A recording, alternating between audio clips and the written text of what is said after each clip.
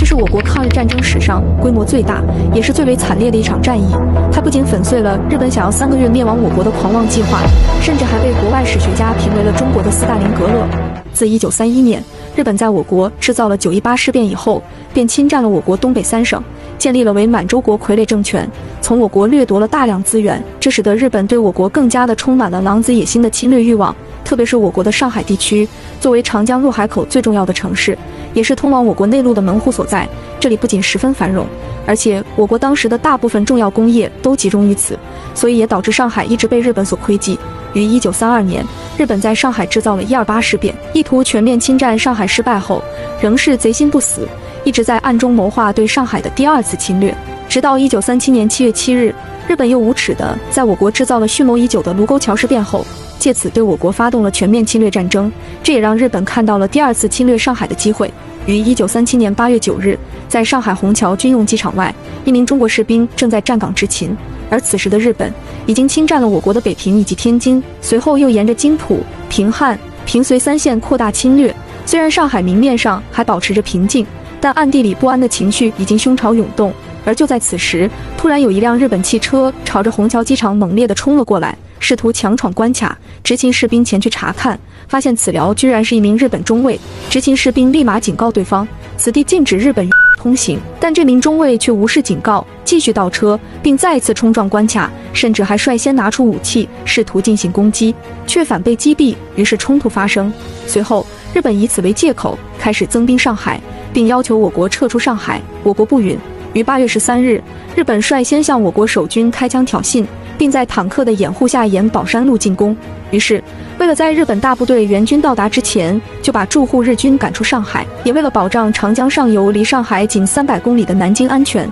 还为了向全世界展示我国的抗战决心，于是，中国抗战史上规模最大、战斗最惨烈的淞沪会战正式爆发。在全民抗日浪潮的推动下，于八月十四日。国民政府发表了自卫抗战声明书，宣告中国绝不放弃领土之任何部分，必有侵略，唯有实行天赋之自卫权以应之，向日本发动了总攻。随后，由受过德西训练的第八十八调整师率先赶赴战场。除此之外，还有大量抗日先烈，仅凭落后的装备和铮铮铁骨，与日寇作战。用血肉之躯来建筑防线，哪怕是面对日寇的装甲大炮，也毫不退缩。虽然先烈们视死如归的奋力战斗，但在面对日本蓄谋已久的侵略准备和海陆空都处于绝对劣势的情况下，再加上日本不停地进行增援，致使我国抗日部队并没能第一时间把日军赶下海去，而是与日本在上海市区陷入了苦战。到八月二十三日，日本松井石根再次率两个师从川沙河口、狮子林、吴淞一带强行登陆。与我国第九集团军以及十五集团军围绕宝山、乐浦、罗店、温枣帮等阵地爆发了惨烈战斗。虽然日军有大量坦克、海军火炮以及飞机的支援，但仍然没能突破我军防线。我军依托战壕和城市布局，与日军展开了激烈的巷战，甚至是反复白刃战。大量抗战先烈，哪怕是弹尽粮绝，也依然誓死不退。战至九月五日，日军又集三十多艘军舰，掩护陆军向宝山发起猛攻。我国第十八军第五百八十三团三营五百名官兵，在营长姚子清率领下，与日军浴血奋战两个昼夜，打光了最后一颗子弹。除一人受命突围向上级报告军情外，其余全部壮烈牺牲。日军在侵占宝山之后，为了打开一个维持后勤的通道，又沿保罗公路对西面九公里处正在激战的罗店区域进行了增援。我国第十八军及七十四军在这里与日军展开了淞沪会战中最为惨烈的拉锯战。在这场战役中，罗店曾几度易手，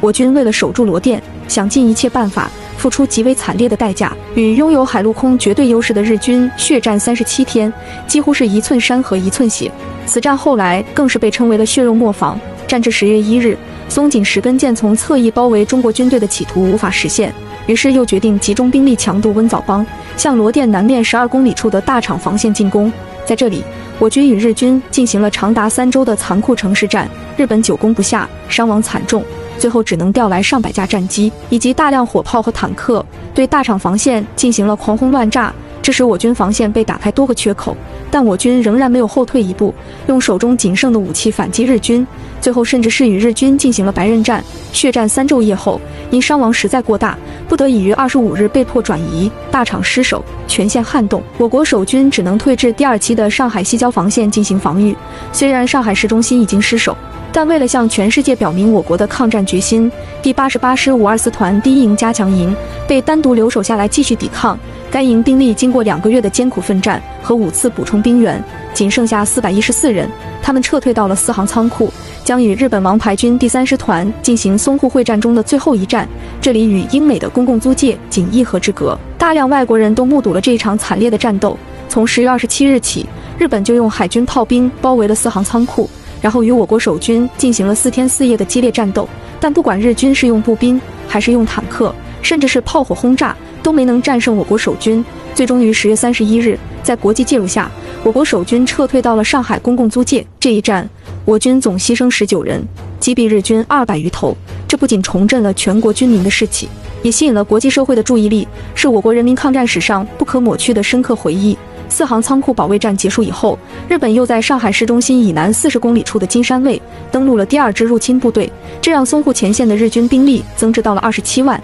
见此情况，于十一月八日晚，上级下令进行全面撤退，所有部队撤出上海战斗，分两路退向南京、苏州至嘉兴以西地区。由于命令仓促，指挥失控，这一次大撤退结果演变成了全面大溃退。十一月十一日，日本开始向南京进军。当日，上海市长于鸿钧发表告示民书，沉痛宣告远东第一大都市上海沦陷。至此，淞沪会战到此结束。这一战，我国参战军士超七十万，伤亡人数更是达到了二十五万余，其中牺牲校尉级以上军官近千名，少将以上高级军官十余名，可谓是惨烈之极。而日本方面，则是总参战二十二万头。伤亡达九万余头。这一战，我国虽然战败，但无数抗战先烈用鲜血和生命为中国民族工业内迁争取了时间，同时也让全世界看到了我国抗击日本法西斯的坚定立场。在淞沪会战惊心动魄的三个月当中，全中国上下凝聚出了一个共识：我国纵使战到一兵一枪，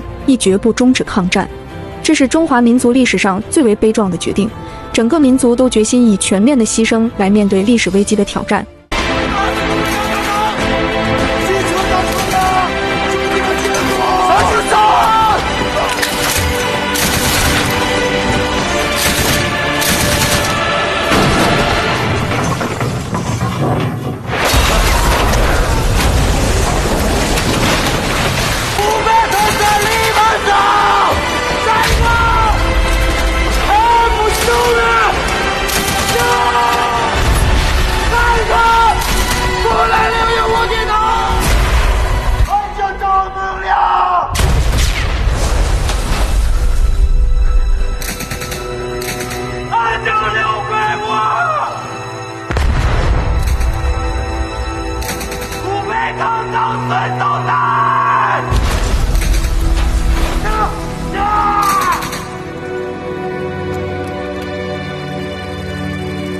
对着我，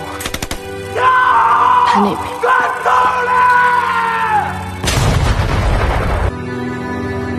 切日